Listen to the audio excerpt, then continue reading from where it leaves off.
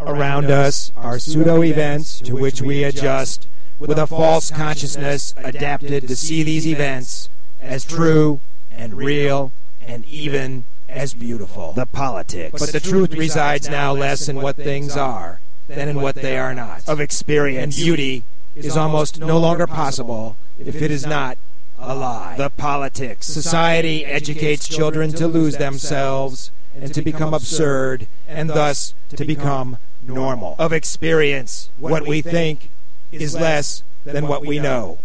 What we know is less than what we love. And what we love is so much less than what there is.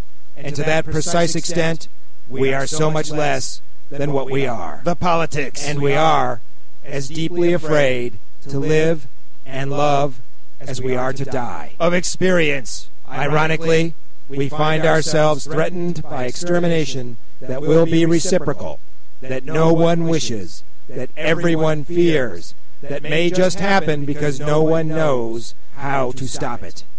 Everyone will be carrying out orders. Where do they come from? Always elsewhere. The politics. This human scene is a scene of mirages, demonic pseudo realities, because everyone believes that everyone else believes them. Of experience. There appears to exist no freedom. There is conformity to a presence that is everywhere, elsewhere. The politics. The group becomes a machine, and that it is a man made machine in which the machine is the very men who make it is forgotten. It is as though we all prefer to die to preserve our shadows. Of experience. Yet there is nothing to be afraid of.